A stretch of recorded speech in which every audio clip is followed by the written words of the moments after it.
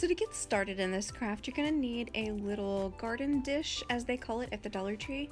Most of the items I am showing you that I did get at the Dollar Tree, and a few items I did not, and a few things I already had on hand. You're going to need a few of these little succulents, also from the Dollar Tree. You might be able to repurpose those little pots because we are going to be pulling these succulents out.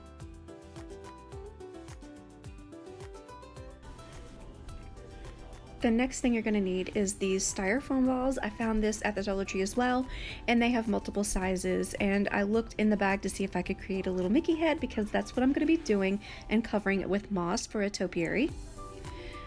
The one thing I did get at Big Lots, and I am kicking myself for it because this little teeny tiny bag was $4, and you can get three times this much at the Dollar Tree, but they were out, and I really wanted to do this craft today, so I bit the bullet and purchased that as well as these little rocks.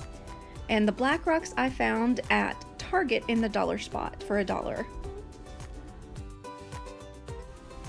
This cute little item I found in the little fairy garden section at the Dollar Tree. I wanted this bunny in particular because I do follow the Instagram account of bunnies of Walt Disney World. So we had to add a little bunny. And then you just want a various amount of these floral picks from the Dollar Tree. They have so many beautiful flowers to pick from. And of course, you're gonna need some glue sticks and your glue gun. So the first thing I wanted to do was go ahead and make this Mickey Mouse topiary. Be very careful and do this like as soon as your glue gun starts to heat up because you don't want to melt the styrofoam.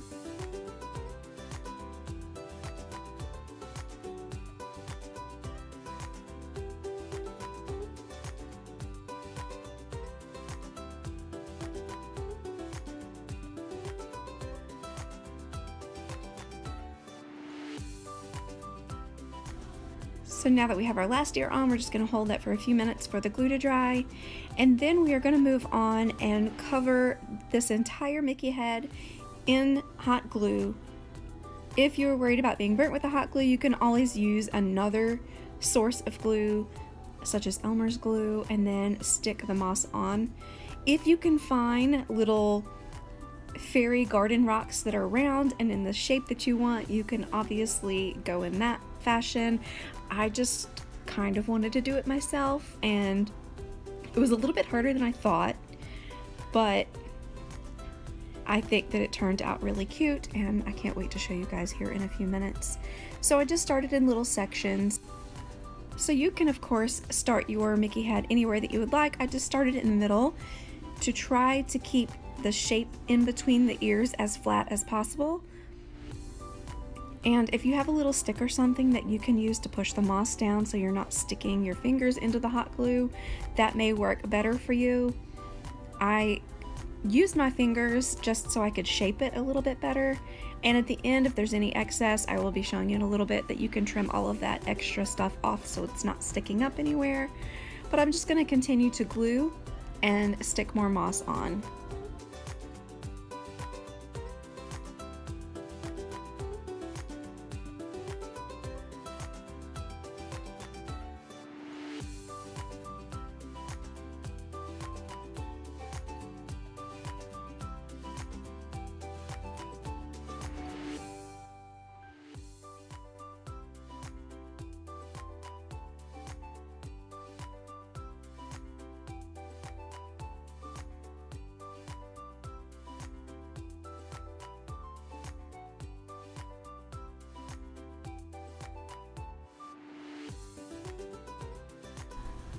Now the main part of it is covered in the moss and the glue has cooled down just a little bit. I went through and just kind of patted it in with my hands to make sure it had full coverage as much as possible or to see if there was anywhere that I also needed to cover up and I apologize that I keep going in and out of frame. I kind of get in the moment doing these crafts and completely forget that I'm filming it for you guys and so I apologize for that.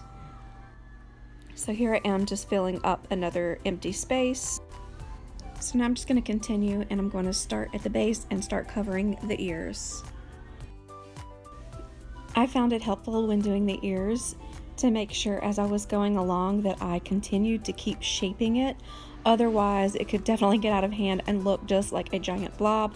So it did take a little bit of pressing and I used my nails. But like I said, you could use anything that you want to go up underneath it to make sure you have your circle for the ears completely formed.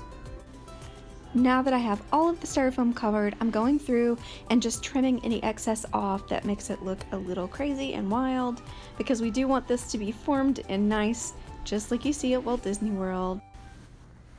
Once you have your perfect little Mickey head put together, set that aside because that's going to end up being the centerpiece. So now it's time to start assembling your fairy garden. I added those black rocks at the bottom and then I started adding on the moss. You can use as little or as much as you want. I only put it in the middle because I definitely wanted to see the layers that I'm adding. I definitely wanted to see the rocks at the bottom, so I only added a little bit of moss dead center, and then I just pressed that down. Next, I just took those little succulents out of the pot and I'm going to be cutting the stems off and I'm just going to be placing it to the back side of this bowl and I'm to do that again with the other one.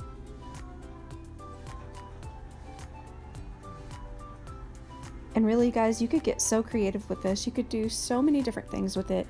Uh, different succulents, different flowers, just anything that you want to use.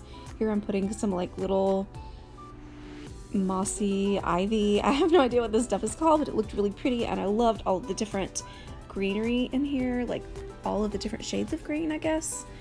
I'm not a floral person at all, so I know I'm botching this completely up. I just went with what looked pleasing to me and to the eye when I was looking at everything. Just continue to put different pieces of ivy and greenery and floral things in as you see fit. I realize that not everyone may have these exact same things in their area or available to them in their dollar store, so just pick out the things that are pleasing to you and get creative.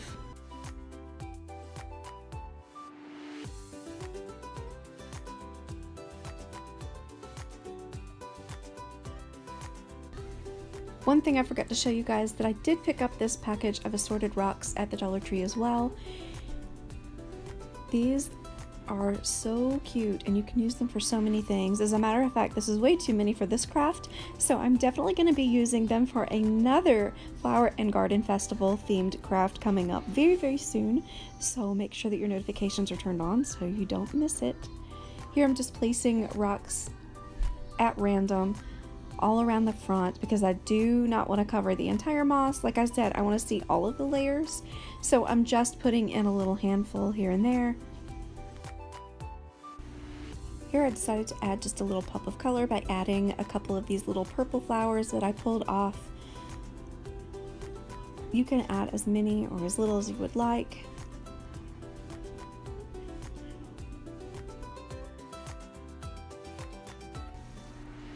Now it's time to place that sweet little Disney bunny in there.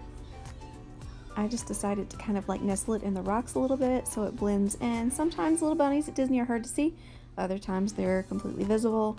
So I wanted to make sure to incorporate that little bunny rabbit in there. And now I'm just adding a little bit of hot glue on one of the rocks and I'm going back with that Mickey Mouse head topiary that we made earlier in the video and I'm just pressing it on there so it will stand up. Now of course you can stop here because it's gorgeous as it is or you can add a little Disney playset piece. Here I'm adding Thumper with a pink flower in his hands. And there you have it, a perfect little piece of the Flower and Garden Festival in your home. It would make a beautiful centerpiece on your Easter table as well. I truly hope that you will give this a go. It is so much fun and so pretty. So for the second craft, it's pretty much just like the first one. However, if you would like to spruce up your desk at work or a shelf at home, you can do the same thing on a smaller scale. I found these rocks, like I had said, at Big Lots, and so I wanted to add some of these to the bottom. You really can make this your own. There is no wrong way to create this. Just do what looks good to you, and it will be perfect. So I put about a half a cup of rocks in the bottom, and then I'm just gonna lightly cover it with some moss. Obviously, there's not room for any succulents in here, I mean, if you wanted to try it, you're more than welcome to do that, but I didn't want it so full that you really couldn't see anything in there. So I'm just going back with those same purple flowers I used before, but instead of pulling them off, I'm gonna leave them on the stem. You can add your flowers in any single pattern that you would like, and I apologize, I did not realize how much my hands were in the way. So I'm truly sorry for that, but you get the idea of everything that I'm doing. Now to partner with Thumper, we do have Miss Bunny, also from that same playset. And I'm just going to slide her in the middle. She does have a little trouble standing up. She is absolutely gorgeous. She is such a stunning little bunny, and I'm so happy that we had her. Here I'm just adding a couple of those little fuzzy pieces of ivy or leaves or whatever these are. I love that they had texture to them so it added just an extra little element to that. Here is the final project with both pieces put together. I hope that you guys will make these. If you do, make sure to tag me on Instagram in your photos. Thank you so much for coming along with me. I will see you guys next time.